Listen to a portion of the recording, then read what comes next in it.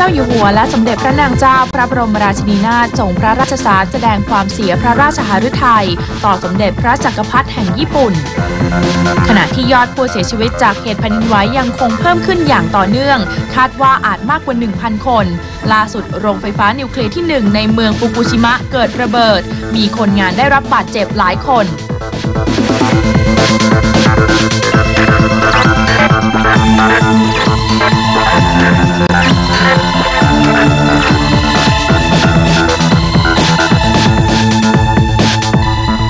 วัสดีค่ะ สวัสดีค่ะ ต้อนรับคุณผู้ชมทุกท่านเข้าสู่ข่าวภาคค่ำททบ5นะคะ ประจำวันเสาร์ที่ 12 มีนาคม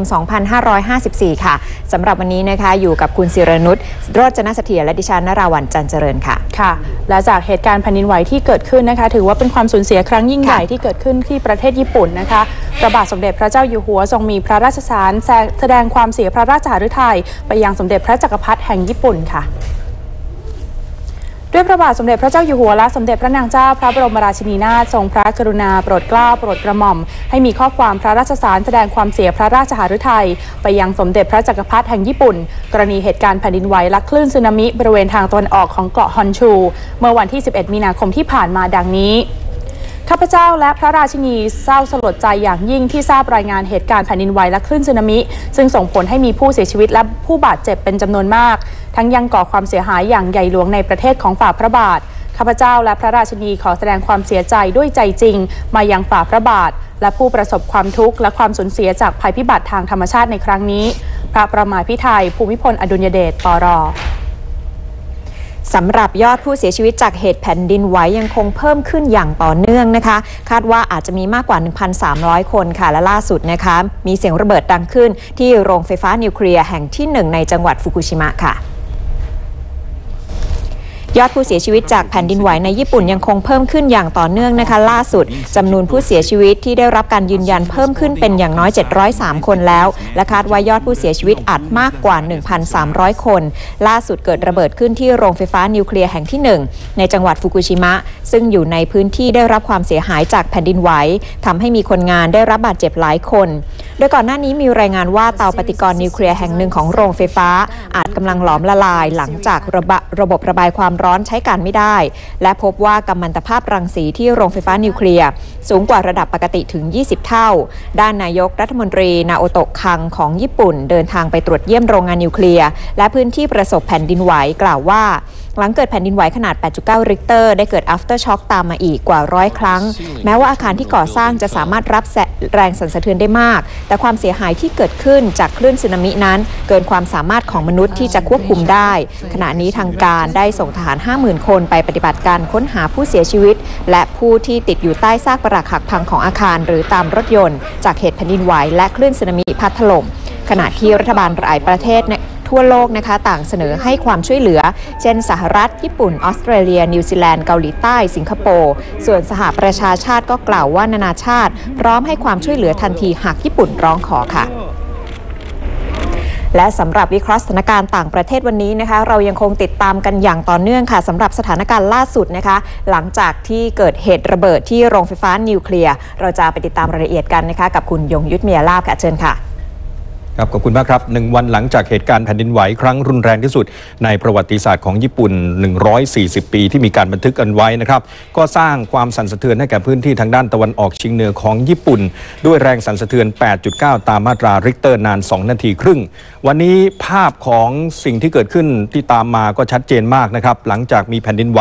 หลังจากมี after shock ซึ่งวัดได้ 6.0ริกเตอร์กว่าแล้วนะครับ เป็นร้อยครั้งเลยทีเดียว รวมถึงสึนามิที่สูงถึง 10 เมตร ตอนนี้ยอดผู้เสียชีวิต มีการรายงานออกมาว่าอย่างน้อย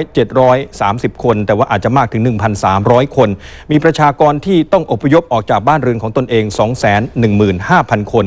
รถไฟ 4 ขบวนบริเวณชายฝั่งทางด้านตะวันออกเฉียงเหนือของญี่ปุ่นยังสูญหายอยู่ครับ รวมถึงเรือที่บรรทุกผู้โดยสารอีก 100 คนก็ยังสูญหายอยู่เช่นเดียวกัน ทางด้านรัฐบาลญี่ปุ่นก็ได้สั่งการให้กองกำลังป้องกันประเทศนับหมื่นๆนาย ลงพื้นที่เพื่อดำเนินการกู้ภัย พร้อมทั้งมีเครื่องบินไปช่วยในการกู้ภัย 300ลำและเรืออีก 40ลำนะครับ ทีมกู้ภัยจากต่างประเทศก็เดินทางกันเข้ามายังญี่ปุ่นครับไม่ว่าจะมาจากทางสิงคโปร์ออสเตรเลียนิวซีแลนด์เกาหลีใต้ ขณะที่บารักโอบามาประธานาธิบดีสหรัฐ ก็ประกาศช่วยเหลือเต็มที่ครับก็มีเรือบรรทุกเครื่องบินของสหรัฐพร้อมอยู่ในพื้นที่แล้ว มีอีกหนึ่งลำกำลังเดินทางไป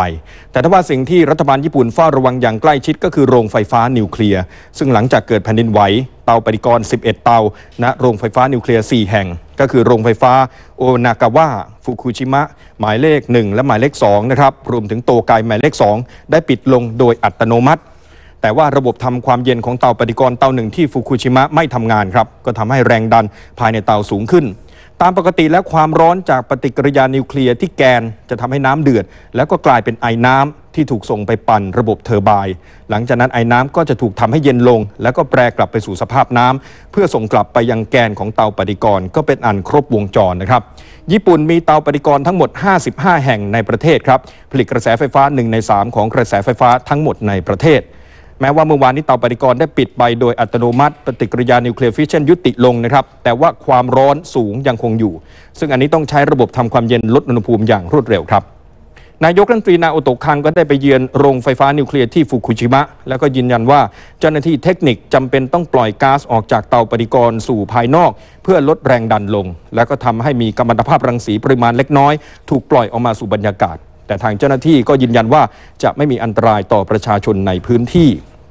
แต่ทว่าเพื่อความปลอดภัย หัวหน้าเลขาธิการคณะรัฐมนตรีนายยูคิโอเอดาโนะได้แถลงก่อนหน้านี้ว่า ได้อพยพประชาชนในรัศมี 3 กิโลเมตร 3,000 คนออกจากพื้นที่แล้ว และประชาชนในรัศมี 10 กิโลเมตร ได้ถูกขอร้องให้อยู่ในบ้านครับ กฎหมายญี่ปุ่นกำหนดให้ประกาศภาวะฉุกเฉินด้านนิวเคลียร์ถ้าหากมีกัมมันตภาพรังสีรั่วสู่บรรยากาศ หรือว่าระดับน้ำในเตาปฏิกรณ์สูงถึงระดับอันตราย หรือว่าระบบทำความเย็นบกพร่อง ทั้งนี้เพื่อเจ้าหน้าที่ท้องถิ่น สามารถดำเนินมาตรการความปลอดภัยได้อย่างมีประสิทธิภาพ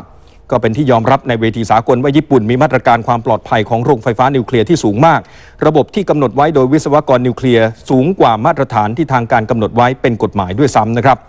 ล่าสุดก็มีรายงานการระเบิดที่โรงโรงไฟฟ้านิวเคลียร์ฟุกุชิมะหมายเลขหนึ่งครับที่ตั้งเตาปฏิกรณ์ไดอิชิหมายเลขหนึ่งอายุ 40 ปีทำให้หลังคาของโรงงานเปิดออก ขณะที่เจ้าหน้าที่กำลังพยายามลดแรงดันที่แกนของเตาปฏิกรณ์อย่างเร่งด่วน มีผู้ได้รับบาดเจ็บ และทางการก็ได้สั่งอพยพคนออกจากรัศมี 10 กิโลเมตรแล้ว ผู้เชี่ยวชาญบางคนก็มองว่าขณะนี้ดูเหมือนว่าการระเบิดเกิดจากแรงดันของไอ้น้ำถึงแม้จะมีความเสียหายต่อโครงสร้างภายนอก แต่ว่าโครงสร้างเหล็กภายในยังเก็บกักกัมมันตภาพรังสีเอาไว้ได้ครับ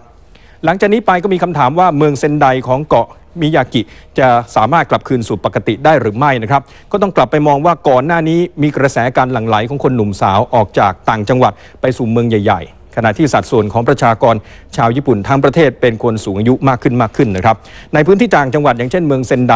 ประชากรส่วนใหญ่ก็จึงเป็นคนสูงอายุ และในพื้นที่ก็มีการทำการเกษตร แล้วก็การทำการประมง ซึ่งได้รับผลกระทบจากการหลั่งไหลของคนหนุ่มสาวออกจากพื้นที่ไปด้วย เพราะฉะนั้นหลังจากแผ่นดินไหวครั้งนี้ บรรยากาศของเมืองเซนไดคงจะกลับมาเป็นเหมือนเดิมได้ยากแล้วครับ พบกันใหม่พรุ่งนี้ครับ สวัสดีครับ ค่ะและสำหรับในส่วนของประเทศไทยที่มีการคาดการณ์ว่าคลื่นยักษ์สึนามิ จะพัดเข้าชายฝั่งใน 3 จังหวัดชายแดนภาคใต้ของช่วงเช้ามืดในวันนี้นะคะ แต่ว่าทุกจังหวัดตอนนี้รอดพ้นวิกฤตดังกล่าวแล้วนะคะ โดยชาวบ้านที่อยู่ตามแนวชายฝั่งทะเลก็เริ่มทยอยเดินทางกลับบ้าน หลังแน่ชัดถึงความปลอดภัยค่ะ ชาวบ้านกว่า 300 ครัวเรือนในพื้นที่หมู่ 9 บ้านแหลมนก ตำบลบานาอำเภอเมืองปัตตานี ซึ่งอยู่ติดริมชายฝั่งทะเลทยอยกันขนข้าวของกลับบ้านเรือนของตนเอง ตั้งแต่เมื่อช่วงเช้ามืดที่ผ่านมา หลังจากอพยพหนีไปอาศัยบ้านญาติ ภายในตัวเมืองปัตตานีเมื่อค่ำวานนี้ เนื่องจากหวาดกลัวผลกระทบจากคลื่นสึนามิ ชาวบ้านแหลมนกบอกว่าจำเป็นต้องอพยพไปก่อนค่ะ เพราะรู้สึกกลัวภัยธรรมชาติมาก เนื่องจากมีประสบการณ์ที่เลวร้ายจากพายุ depression ที่พัดถล่มเมื่อปลายปีที่ผ่านมา ส่งผลให้หมู่บ้านทั้งหมู่บ้านต้องจมอยู่ใต้น้ำและบ้านเรือนพังเสียหาย แต่เมื่อมั่นใจก็กลับมาใช้ชีวิตตามปกติส่วนที่จังหวัดนราธิวาสในวันนี้บรรยากาศบริเวณชายหาดนราทัศน์แหล่งท่องเที่ยวทางทะเลที่ขึ้นชื่อของจังหวัดก็กลับมาคึกคักตามปกตินะคะ ชาวบ้านยังคงพาบุตรหลานมาเที่ยวชมความงดงามของท้องทะเล แต่ว่าสภาพอากาศวันนี้มีกระแสคลื่นลมกระโชกแรงกว่าปกติค่ะ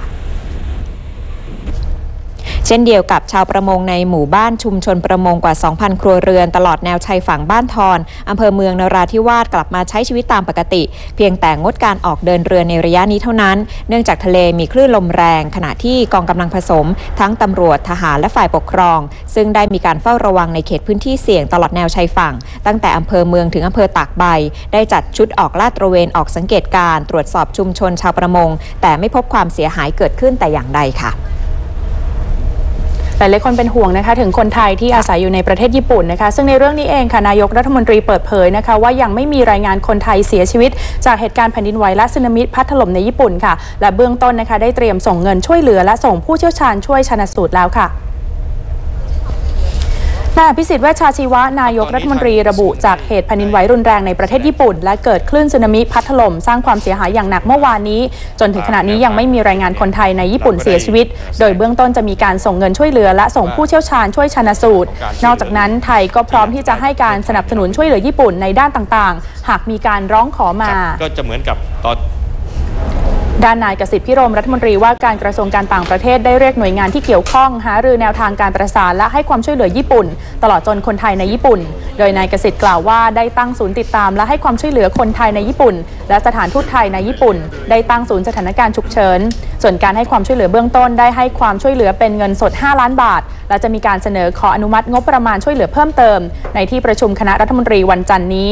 นอกจากนี้ยังเปิดบัญชีรับบริจาคธนาคารกรุงไทยสาขา 3 ยอด เลขที่บัญชี 0020 271 468 และพรุ่งนี้เจ้าหน้าที่ค้นหา 24 คน สุนัขจากกรมการจัดฐานบก 6 ตัว จะเดินทางโดยสายการบินไทยไปญี่ปุ่นในวันพรุ่งนี้ และนอกจากนี้ก็ได้ประสานในการเตรียมส่งแพทย์และเจ้าหน้าที่พิสูจน์อัตลักษณ์บุคคลด้วยขณะเดียวกันยังได้มีการช่วยเหลือในรูปของสิ่งของอุปโภคบริโภคของใช้จำเป็นที่กำลังดำเนินการ และในวันพรุ่งนี้จะเชิญเอกอัครราชทูตญี่ปุ่นประจำประเทศไทย เพื่อหารือถึงความต้องการความช่วยเหลือด้านต่างๆ ของญี่ปุ่นต่อไปค่ะ